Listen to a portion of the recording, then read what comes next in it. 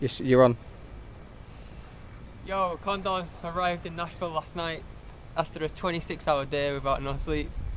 Brutal. Mark and Steve fantastically put us up in a hotel for one night.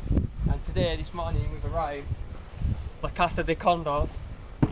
Let's take you through through a couple of uh, key po- key moments. First one, Come on, Lloyd. Take us through the keyhole, look son. at this. This is fantastic. This is where a brick went through the window a couple of weeks ago. Quite looking forward to the next session of that. Coming to the house, the front room. Yes, mates. Chilling out. Lazy boy style Next of all, we got the um, we got one bedroom with uh, two beds in there, a little special. We've got a bathroom. No hot water, but we don't care because it's so hot here. That's cool. A little attention there. Attention, do not use. Next of all, we got this little fantastic bed.